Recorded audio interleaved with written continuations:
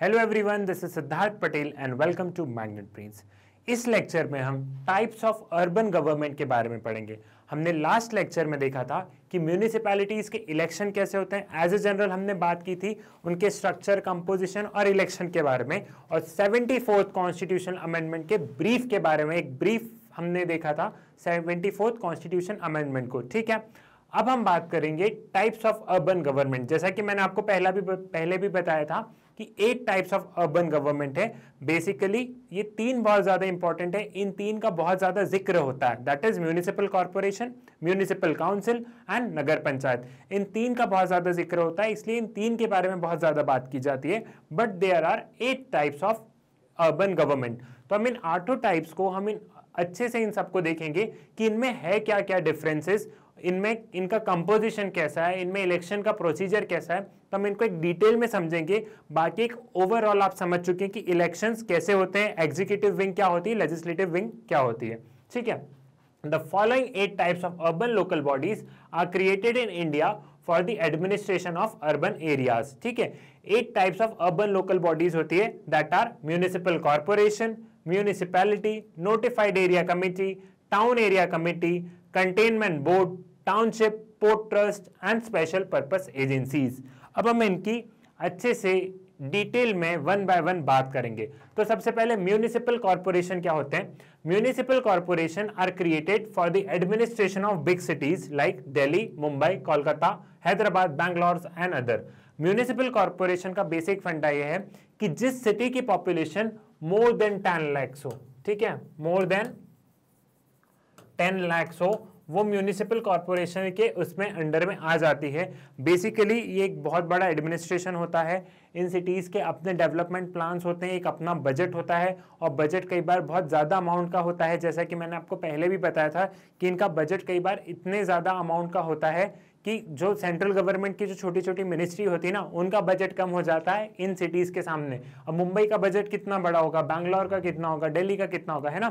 तो इनका बजट भी अच्छे से रहता है। ये अपने स्टाफ खुद रिक्रूट करते हैं जैसे बस कौन चलाएगा टेंडर निकालना ठीक है? जो भी सिटी बसेस आप देखते हो ये सारी चीज़ें सारी पावर इनके पास में रहती है ठीक? सो so, इनका एक अपना स्टाफ होता है एक बहुत बड़ा इनका अपना एक स्टाफ होता है। अब आपको एक क्लियर है कि म्यूनिसिपल कॉर्पोरेशन क्या है? एक ब्रॉडर व्यू में अब आपको एक इमेज बन गई है कि म्यूनिसिपल कॉर्पोरेशन कैसा होगा। और बहुत प्रोफेशनल तरीके से ये लोग काम करते हैं। They are stablish in state by the acts of concern state legislature and in the union territory by the acts of parliament of India ठीक है? ये जिस भी स्टेट में बनती है, उस स्टेट के एक्ट के अकॉर्डिंग बनती है, ठीक है? जैसे बैंगलोर बनेगा, बैंगलोर एक म्यूनिसिपल कॉर्पोरेशन है तो कर्नाटका स्टेट लेजिस्लेटिव असेंबली ठीक है? ये एक्ट पास करेगी एंड देन बैंगलोर का डेवलपमेंट कैसे होगा, वो बताया जाएगा, ठीक? देर कौन कौन सी पावर्स होंगी कौन कौन सी नहीं होगी? There may be one common act for all the municipal corporation in the state और a separate act for each municipal corporation ठीक है? एक सिटी के लिए या तो अलग अलग एक्ट हो सकता है, एक स्टेट के लिए। एक स्टेट में जैसे मान लो दो तीन सिटीज़ हैं, ठीक? मान लीजिए भोपाल में, ओ, मध्य प्रदेश में एक भोपाल है एंड इंदौर। हम दो सिटीज़ को ले लेते हैं, भोपाल एंड इंदौर। अब यहाँ पे मध्य प्रदेश गवर्नमेंट भोपाल का एक अलग म्यूनिसिपल कॉरपोरेशन एक्ट बना सकती है और इंदौर का एक अलग म्यूनिसिपल कॉरपोरेशन एक्ट बना सकती है, ठीक?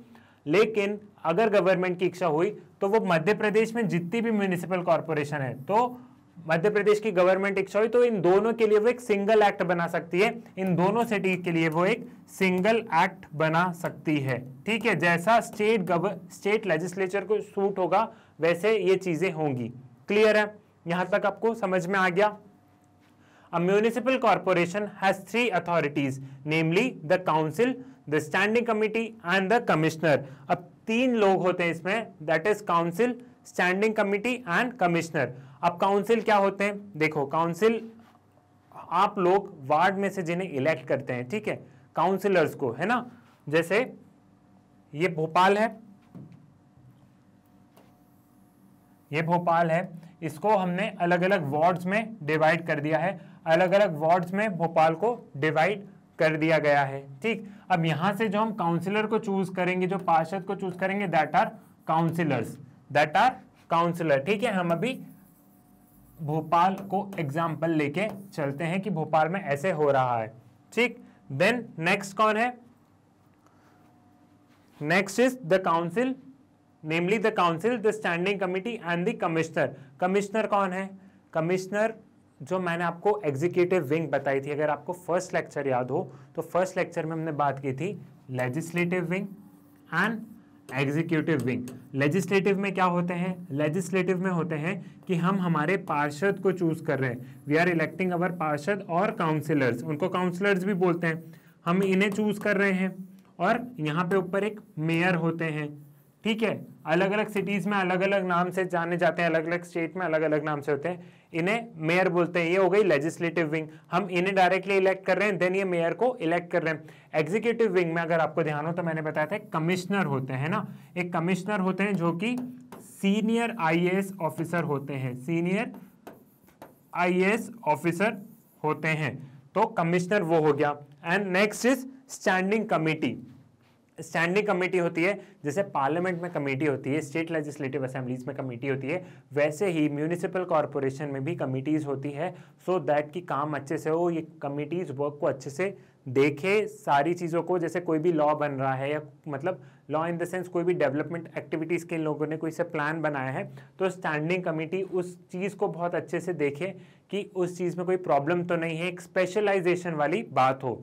हम जब पार्लियामेंट पढ़ रहे थे, तब हमने कमिटीज की इंपॉर्टेंस को समझा था। क्लियर है यहाँ तक आपको? ये तीनों मेंबर्स क्लियर है आपको कि कौन कौन से three authorities that is the council the standing committee and the commissioner I hope ये तीनों आपको समझ में आ गए होंगे। पास लेक्चर देख लीजिएगा। इसके पहले वाला लेक्चर तो आपको और चीज़ें बहुत ज़्यादा अच्छे से क्लैरिटी होगी।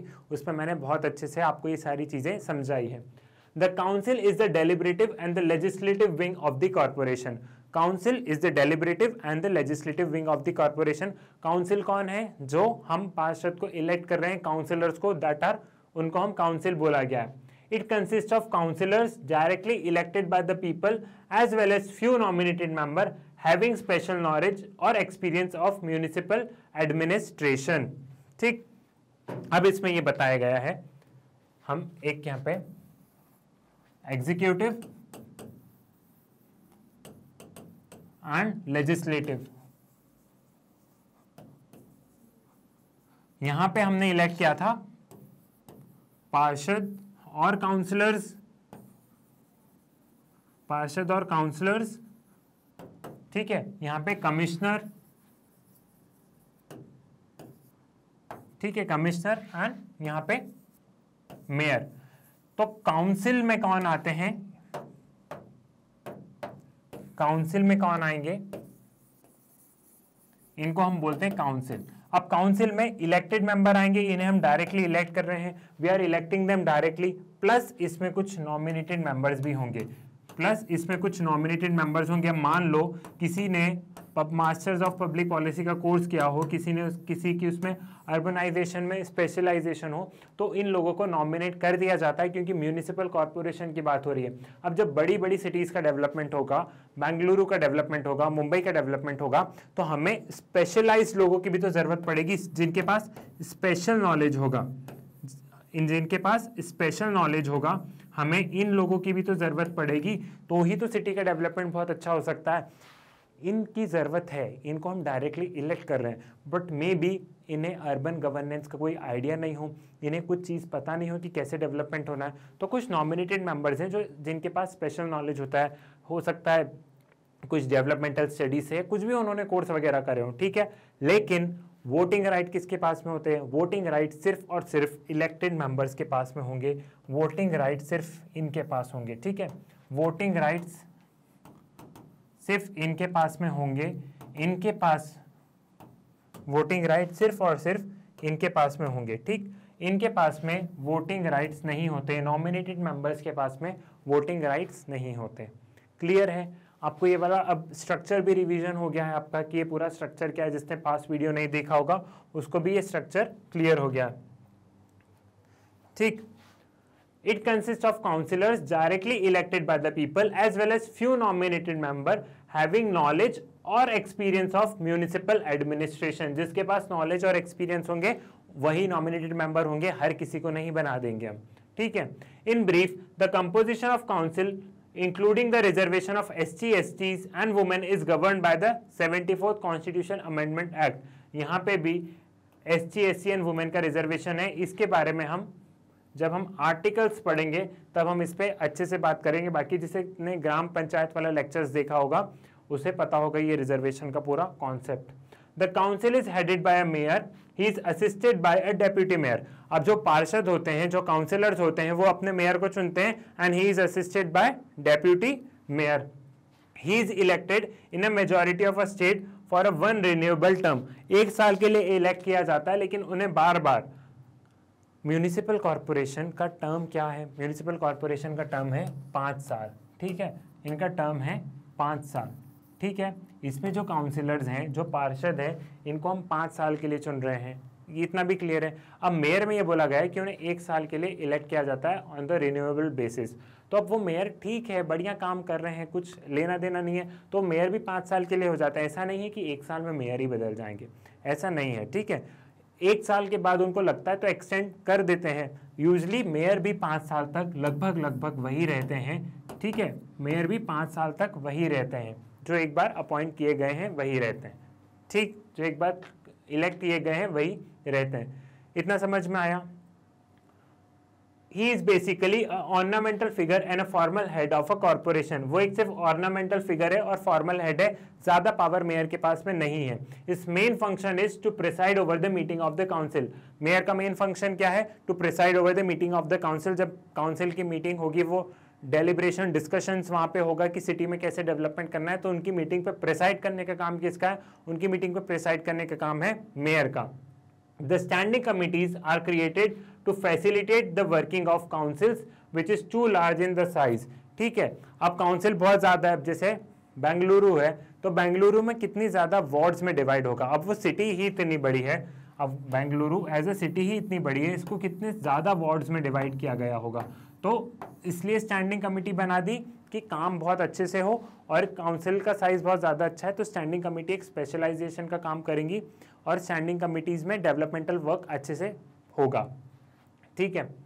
They deals with the public work education health taxation finance and so on municipal corporation का ये सारी चीज़ों में काम है। They take decision in their field the municipal commissioner is responsible for the implementation of decision taken by council and its standing committee municipal commissioner जो कि government officer हैं, ठीक है? उनको स्टेट गवर्नमेंट अपॉइंट कर रही है। उनका काम है इन सारी चीज़ों को इम्प्लीमेंट करना जो कि ये डिसीज़न लिए जा रहे हैं, वो म्यूनिसिपल कमिश्नर का काम है, ठीक? This he is this he is a chief executive authority of the corporation he is appointed by the state government and generally a member of generally he is a member of an I group ठीक है? वो I होते हैं, ठीक? I hope municipal corporation आपको clear होगी। Municipal corporation जैसा कि हमने पास्ट वीडियो में भी देखा था, आपको वो वाला कॉन्सेप्ट ध्यान होगा। और जो मैंने समझाया है, इससे आपको म्यूनिसिपल कॉरपोरेशन का पूरा कंपोजिशन ध्यान होगा। ठीक है? अब हम बढ़ते हैं म्यूनिसिपैलिटी पर। The municipalities are established for the administration of towns and smaller cities. अब कोई छोटी छोटी सिटीज़ हैं तो उनका एडमिनिस्ट्रेशन म्यूनिसिपैलिटी से होता है कॉरपोरेशन तो जिसकी 10 लाख से ज़्यादा पॉपुलेशन है जहाँ रेवेन्यू बहुत ज़्यादा है ठीक है वहाँ कॉरपोरेशन का रोल आ जाता है लेकिन कुछ छोटी सिटीज़ भी तो होती है तो उनका मेंटेनेंस कैसे होगा उनका मेंटेनेंस होगा म्यूनिसिपैलिटीज से ठीक है Like the corporation, they are also set up in the by the acts of concerned state legislature and in the union territories by the act of parliament. They are also known by various other names like municipal council, municipal committee, municipal board, ठीक है? City municipalities and other अब municipalities के बहुत सारे अलग अलग नाम से बुलाया जाता है। हर स्टेट में बेसिकली अपना अपना नाम होता है। ठीक है? और ये भी एक कंसर्न एक्ट से बनती है। जैसे म्यूनिसिपैलिटीज का भी एक कंसर्न एक एक्ट बनाती है। स्टेट गवर्नमेंट एक एक्ट बनता है। उसमें इनके फ़ंक्शंस रोल कैसे काम करेंगी, ये सारी चीज़ें इस एक्ट में डिफाइन होती है। क्लियर है? एक चीज़ बताओ। हम जब म्यूनिसिपल कॉरपोरेशन पढ़ रहे थे तो म्यूनिसिपल कॉरपोरेशन को हिंदी में क्या बोलते हैं? आप महानगर पालिके सुनते हो ना? ब्रोहट बेंगलुरु महानगर पालिके जहाँ महा महानगर पालिके वाली चीज़ म्यूनिसिपल कॉरपोरेशन होती है। ठीक है? महानगर पालिके वो म्यूनिसिपल कॉरपोरेशन है। ठीक है? मैंने सोचा बता दूँ, नहीं तो आप सोचो कि सर, आपने हमें कॉरपोरेशन बताया था, लेकिन यहाँ तो नगर पालिका आ रहा है, ठीक? तो जहाँ महानगर पालिका means that is municipal corporation they are also known by various other names ये हमें पता है, अलग अलग नाम से बुलाया जाता है ये एक्ट से स्टैब्लिश होता है, और ये छोटे टाउन्स और स्मॉलर सिटीज़ के लिए है। Like municipal corporation a municipalities also has three authorities, namely the council, the standing committee, and the chief executive officer. इनके भी तीन तीन तरीके से, तीन मेंबर्स हैं, तीन अथॉरिटी है। कौन कौन सी है? One is again we we should take it as a legislative and executive executive में chief executive officer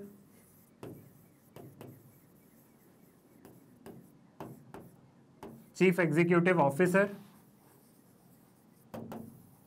यहाँ पे काउंसिल होती है, जहाँ पे काउंसिलर्स होते हैं एंड इनके ऊपर प्रिसाइड करते हैं प्रेसिडेंट और चेयरपर्सन यहाँ पे प्रेसिडेंट बोलते हैं या चेयरपर्सन बोलते हैं। ठीक है? And standing committees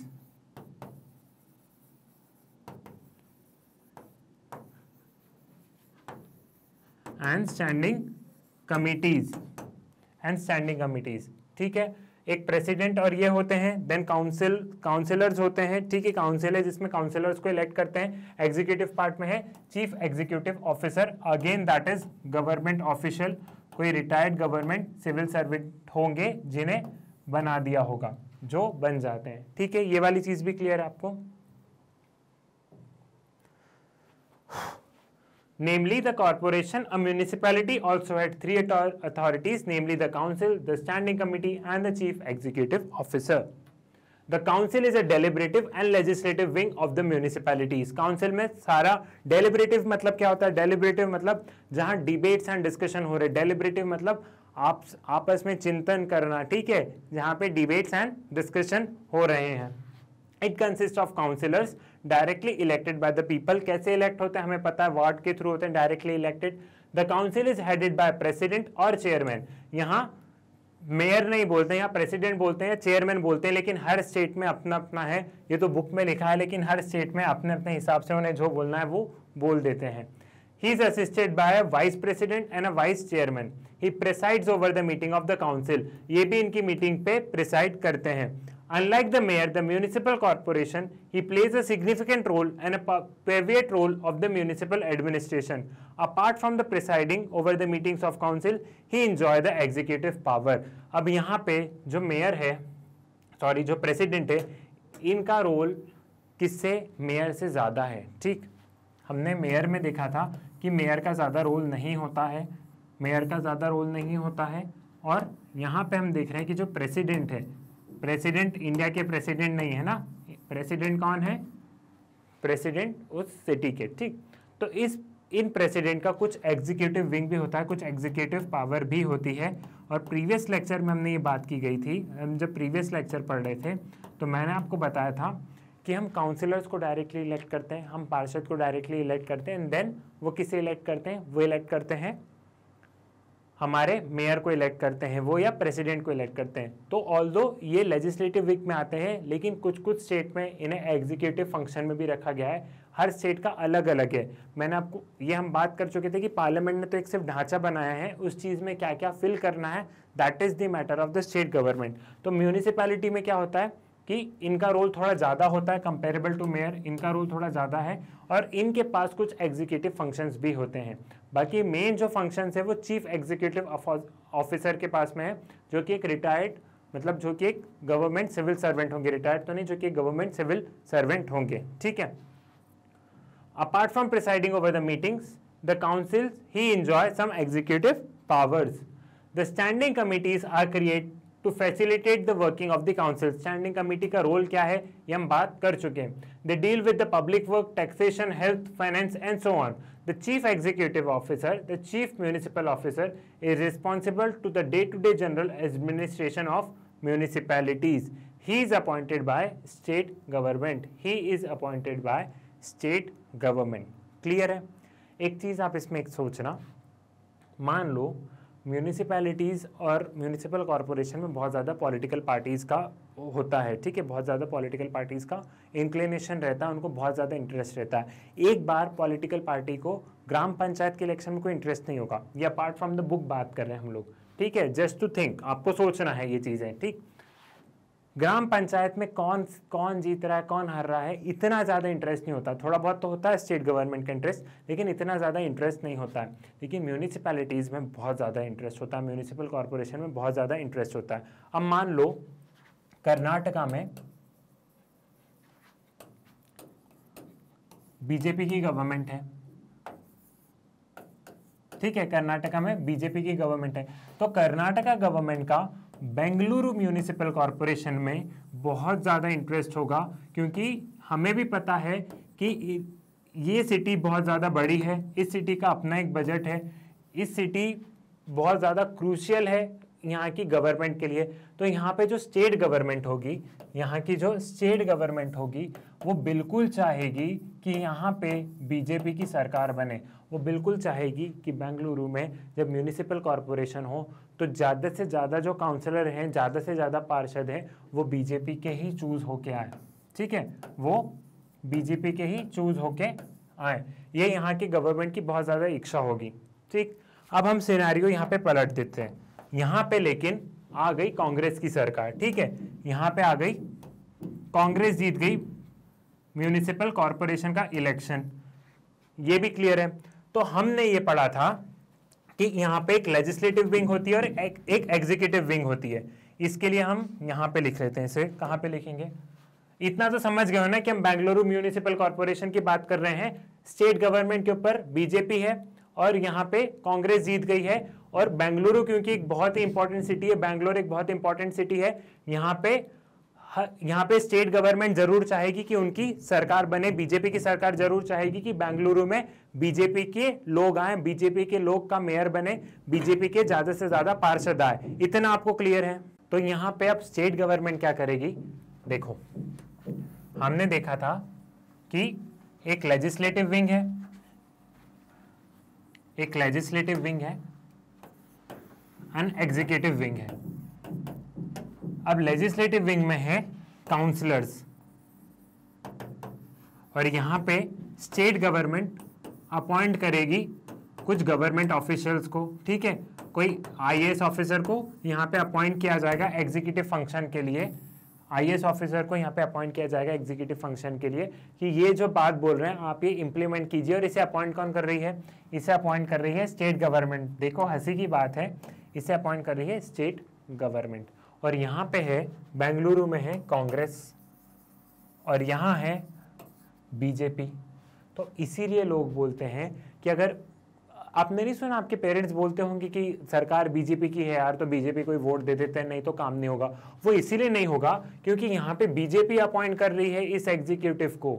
यहाँ पे बीजेपी अपॉइंट कर रही है, उनकी गवर्नमेंट है, वो अपॉइंट कर रहे हैं। स्कीम जितना मन हुआ उतना इंप्लीमेंट किया, नहीं हुआ, नहीं किया, चुनाव तो ये हारेंगे, इनको क्या लेना देना?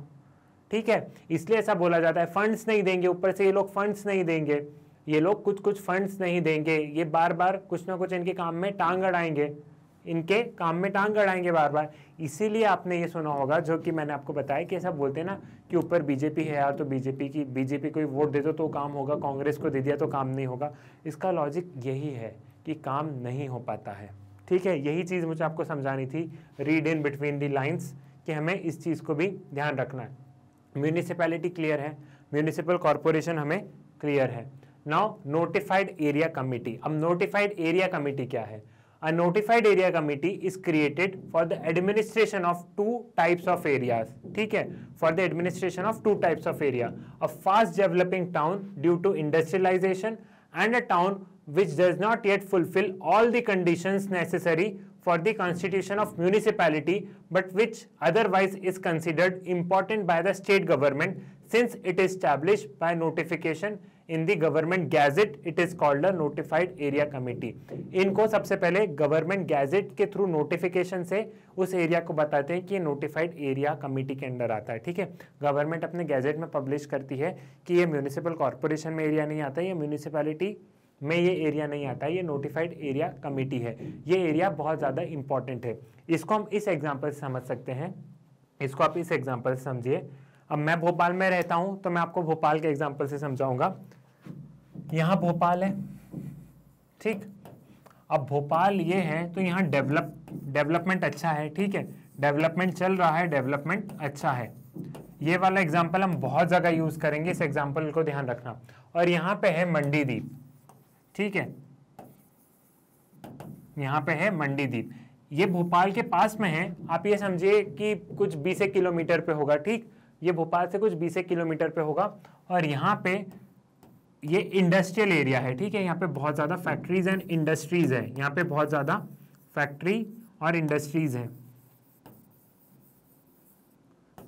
यहाँ पे बहुत ज़्यादा फैक्ट्री और बहुत ज़्यादा इंडस्ट्रीज़ है।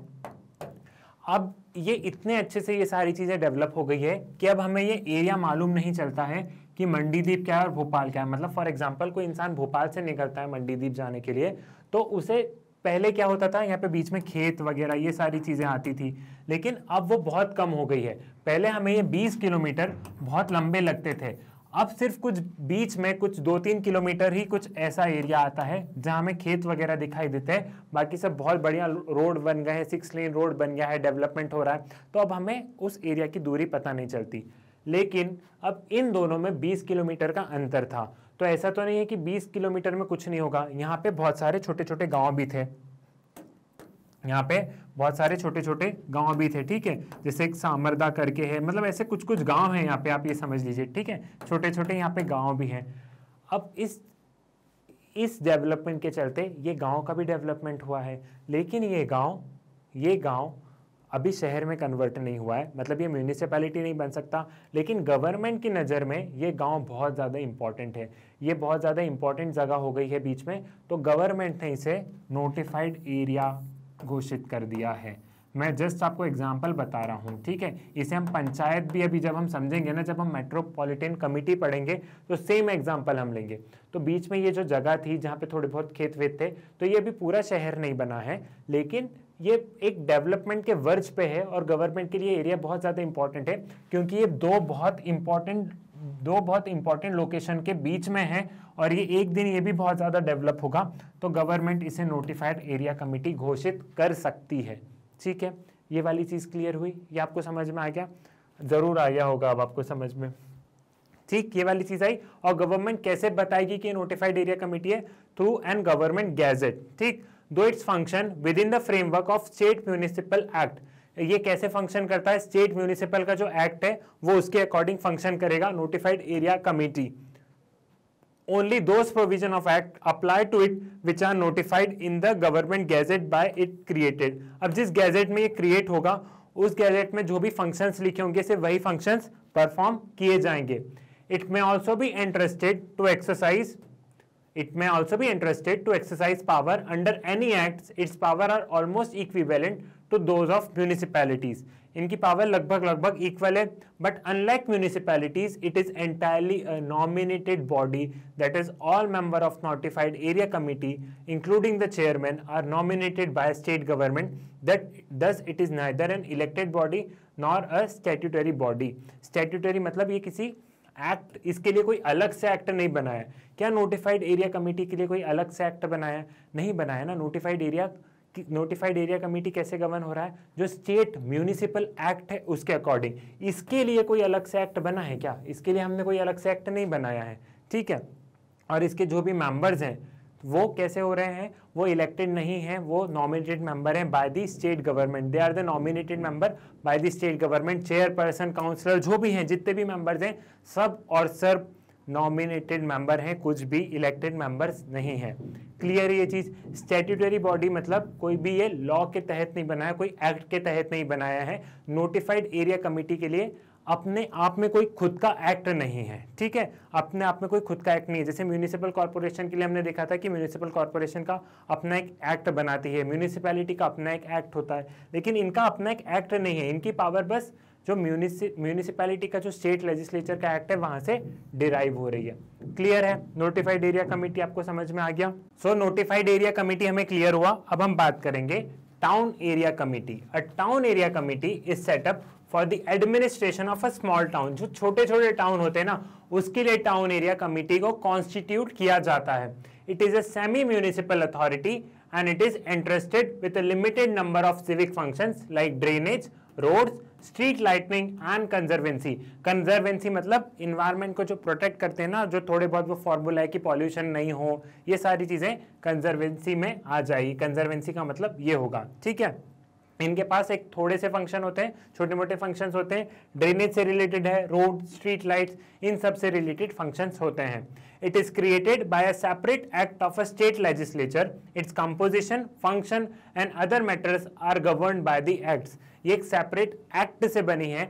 इसलिए टाउन एरिया कमेटी को हम स्टैट्यूटरी बॉडी बोलते हैं। इसलिए हम टाउन एरिया कमेटी को स्टैट्यूटरी बॉडी बोलते हैं। ये स्टेट के स्टेट लेजिस्लेचर ने जो एक्ट बनाए हैं, ये उसके अकॉर्डिंग गवर्न होंगी। जो फ़ंक्शंस उस एक्ट में लिखे हैं, उस फ़ंक्शंस के according town area committee govern होंगी। इट मे वोनली इलेक्टेड और wholly nominated member by the state government और पार्टली इलेक्टेड और पार्टली नॉमिनेटेड मेंबर अब इस एक्ट में जो लिखा होगा, इस एक्ट में जो चीज़ लिखी होगी, उस हिसाब से होगा, या तो सारे इलेक्शन सारे जितने भी मेंबर्स होंगे, सब कुछ इलेक्शन से चूज़ कर लिया जाएगा, या सभी को नॉमिनेट कर लिया जाएगा, या 50 50 जो भी होगा नॉमिनेटेड प्लस इलेक्टेड दोनों का जो भी रखना होगा, वो जो स्टेट लेजिस्लेचर ने जो एक्ट बनाया है, उस अकॉर्डिंग होगा। आपको कॉन्स्टिट्यूशनल कॉन्स्टिट्यूशन और स्टेट्यूटरी मतलब पता है कि what is the meaning of हम बोलते हैं कि क्या ये बॉडी कॉन्स्टिट्यूशनल बॉडी है या नहीं है। देखो, हम उन बॉडी को कॉन्स्टिट्यूशनल बॉडी बोलते हैं, या हम उस चीज़ को कॉन्स्टिट्यूशनल वाली चीज़ बोलते हैं, जिसका कॉन्स्टिट्यूशन में मेंशन हो। जैसे स्टेट फाइनेंस कमीशन का हमने ग्राम पंचायत में क्या पढ़ा था? कि कॉन्स्टिट्यूशन में मेंशन था, ठीक है? अब बहुत सारी चीज़ें कॉन्स्टिट्यूशन में मेंशन नहीं होती। जैसे म्यूनिसिपैलिटीज कॉन्स्टिट्यूशन में मैंशन है। So it is a constitutional body क्योंकि कॉन्स्टिट्यूशन में मैंशन है। लेकिन टाउन एरिया कमेटी कॉन्स्टिट्यूशन में मैंशन नहीं है। ये एक्ट से बनाई गई है। मतलब ये स्टैट्यूटरी बॉडी इसलिए है, क्योंकि एक सेपरेट एक्ट से बनाई है, इसके पावर एंड फ़ंक्शंस क्या होंगे, ये सिर्फ़ एक्ट से बनाया है। तो जो चीज़ें एक्ट से बनाई गई है, उसे हम स्टैट्यूटरी बोलते हैं, और जिसका कॉन्स्टिट्यूशन में मेंशन होता है, उसे हम कॉन्स्टिट्यूशनल बॉडी बोलते हैं। तो ये डिफरेंस भी आपको ध्यान रखना है। क्लियर है ये वाली चीज़ें? Then cantonment boards. अब इसका सुन के हमें लग रहा है कंटेनमेंट बोर्ड्स पढ़ के हमें लग रहा है कि कुछ डिफेंस से रिलेटेड है। ये वो एरिया है जहाँ पे डिफेंस पर्सनल वगैरह रहते हैं उनके परिवार वगैरह सब रहते हैं ठीक है? सो so, उनसे रिलेटेड है। The cantonment act of 2006 was enacted to consolidate and amend the law relating to the administration of containments with a view to impart greater democratization, improvement of their financial base, to make provision for the developmental activities for the matter connected with them. अब हमने जितनी भी bodies पढ़ी हैं अभी हम जितनी भी बॉडीज पढ़ चुके हैं उन सब में स्टेट लेजिस्लेचर या स्टेट गवर्नमेंट कहीं ना कहीं आ रही थी लेकिन अगर आप कंटेनमेंट बोर्ड्स को ध्यान से देखेंगे तो यहाँ पे पावर किसके पास में यहाँ पे पावर है पार्लियामेंट के पास में क्योंकि यहाँ कंटेनमेंट बोर्ड से कंटेनमेंट बोर्ड्स ऑफ़ 2006 से ये सारी चीज़ें गवर्न हो रही है। So the power lies with the parliament and that is ministry of defence के अंडर आती है कंटेनमेंट बोर्ड्स ठीक है? ये एरिया किसके अंडर आता है? ये एरिया आता है डिफेंस मिनिस्ट्री के अंडर में स्टेट स्टेट गवर्नमेंट के अंडर में नहीं आता है ये एरिया इस चीज़ को आपको ध्यान रखना है। ये वो जगह है जहाँ पे डिफेंस पर्सनल वगैरह रहते हैं उनके परिवार वाले रहते हैं उनकी एक अपनी कॉलोनी नहीं होती है जहाँ पे वो सारे लोग रहते हैं। सो so, इस एरिया को कंटेनमेंट बोर्ड बोला जाता है। This act has repeat the cantonment act of 1924 अब 1924 से चला आ रहा एक्ट रिपील तो कर नहीं था, इतना पुराना एक्ट कैसे चलेगा? तब भी बहुत टाइम लग गया, है ना? Then a cantonment board consist of partly elected and partly nominated members यहाँ पे कुछ इलेक्टेड मेंबर्स भी होंगे, यहाँ पे कुछ नॉमिनेटेड मेंबर्स भी होंगे। दोनों का कॉम्बिनेशन है कंटेनमेंट बोर्ड्स में। The elected member hold office for the term of five years अब जो इलेक्टेड मेंबर्स होंगे, वो पाँच साल के लिए होंगे और जो नॉमिनेटेड मेंबर्स होंगे, वो जब तक के लिए उस कंटेनमेंट बोर्ड में रह रहे हैं, तब तक के लिए मेंबर होंगे। फॉर एग्जांपल अब तीन साल में आ जाए कि आपको ये जगह छोड़ के दूसरी जगह रहना है, आपको दूसरी जगह आपको शिफ्ट होना है तो उनका टेन्योर तीन साल का ही होगा। जब तक वो इंसान रह रहे हैं, तब तक के लिए वो कंटेनमेंट बोर्ड के मेंबर हैं नॉमिनेटेड मेंबर हैं।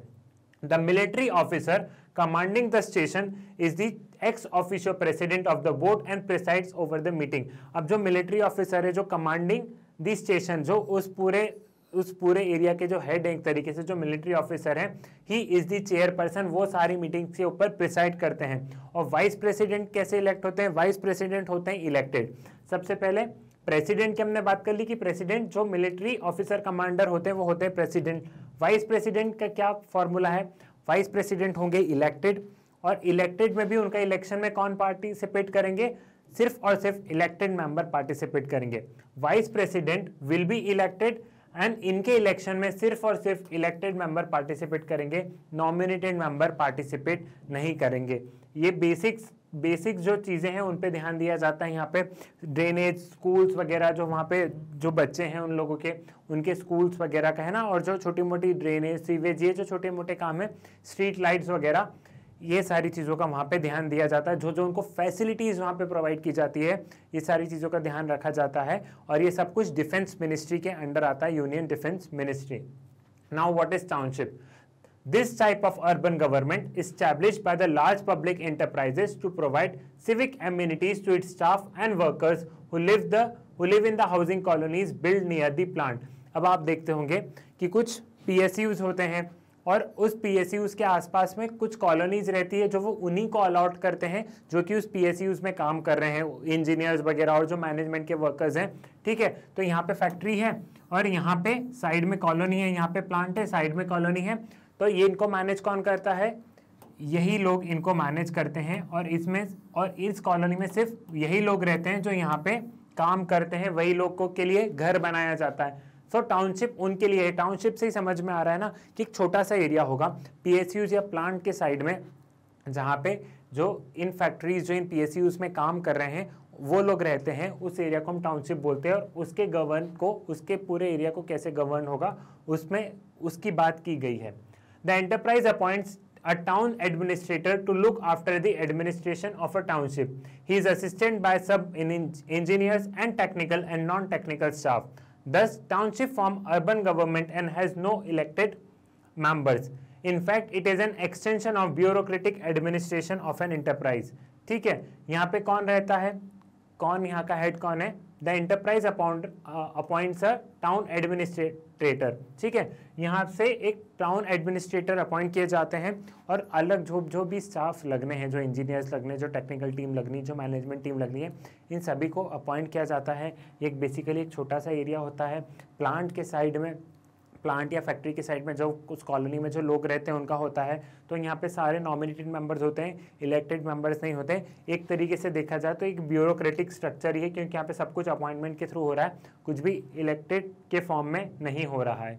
क्लियर है आपको what's township no are port trust port trust से ध्यान आ गया कि कौन कौन सी सिटी हो सकती है, ठीक है? समुद्र के पास में जो तट है, उसे हम बोलेंगे पोर्ट ट्रस्ट पोर्ट ट्रस्ट ठीक? The port trusts are established in port areas like Mumbai, Kolkata, Chennai and so on for two purposes to manage and protect the ports to provide civic amenities. A port trust is created by an act of parliament. It is created by an act of parliament. It consists of both elected and nominated member. ठीक है its civic functions are more or less similar to that of municipalities. अब port trust में क्या होता है port trust में जो उन पोर्ट्स को कैसे मेंटेन करना है? पोर्ट ट्रस्ट में बेसिकली उन पोर्ट्स को कैसे मेंटेन करना है? वहाँ पे कुछ वर्कर्स काम कर रहे होंगे तो पोर्ट ट्रस्ट के आसपास में वो लोग रहते हैं, उनकी छोटी छोटी कॉलोनी होती है तो उनको गवर्न करने के लिए होता है पोर्ट ट्रस्ट ठीक है? यहाँ पे मेंबर्स कैसे होंगे? यहाँ पे इलेक्श या तो यहाँ पे इलेक्शन भी होगा और नॉमिनेटेड मेंबर्स दोनों होंगे, ठीक है? नॉमिनेटेड एंड इलेक्टेड मेंबर्स दोनों होंगे। इनका काम क्या है? To manage and protect the ports उन समुद्री तट को मैनेज करना, साफ़ सफ़ाई, ये जो भी सारी चीज़ें वो देखना and to provide civic amenities अब जो जो वहाँ पे काम कर रहे हैं और जो वहीं पे रह रहे हैं, उनकी सिविक एम्यूनिटीज़ का ध्यान रखना. एंड ये पार्लियामेंट के एक्ट से गवर्न होते हैं. किससे गवर्न होते हैं? They are also govern by an act of parliament clear है आपको? What is port trust now special purpose agencies in addition to these seven area based urban bodies or multiple agencies, the state have set up certain agencies to undertake designated activities or specific functions that legitimately belong to the domain of municipal corporation or municipalities or any other local government. In other words, these are function based and not area based. They are known as single purpose, unipurpose or special purpose agencies or functional local bodies.